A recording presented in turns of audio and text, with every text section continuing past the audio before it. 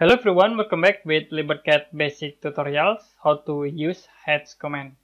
Hatch command will be working in uh, closing entities like uh, for example I will uh, create a rectangle this is uh, closing entities and if you want to create hatch patterns fields in uh, this uh, objects you can select. The next you can click this icon hatch and you can change for patterns in here. We can use a default for ANSI31 with scale 3 you can click OK. So it will be automatically apply into this rectangle objects.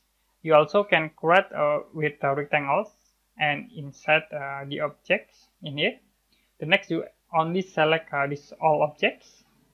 Use uh, this hatch command and then you can click OK. So to be automatically create only in outside here the other option we can uh, create line with uh, two points. So I will active for uh, these options. We can split start from this point. Okay, move to the top.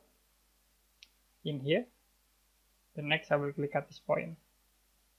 Now if we hatch uh, these objects, this will be not working because uh, this uh, endpoint not connected. So if you click uh, this uh, hatch command and use uh, this option, click OK so this will be not working.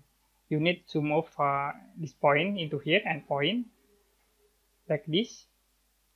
And then you can select these all objects. The next you can use uh, hatch commands.